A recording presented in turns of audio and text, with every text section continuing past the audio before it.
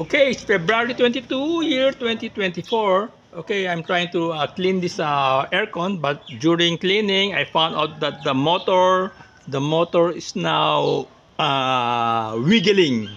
The, the fan blade is uh, already attaching this uh, frame. Okay, so I found out that the, the this metal is all rusted. So I have to uh, repair this unit so I use uh, angle uh, aluminum angle bar. I cut two pieces. Then I just uh, mount it here and uh, make a rivet here, rivet, and the other and the other side. Okay, and also a rivet here.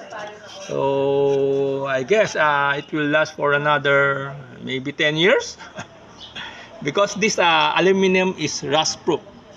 Okay and the rivet is also made of aluminum. So I guess uh, it will last for another maybe 5 to 10 years. Okay? So it's now very smooth. The blades now not touching the the frame. See? Before you can you can see the noise. The client uh, com complaining that uh, this this uh, air conditioner is uh, very noisy Okay?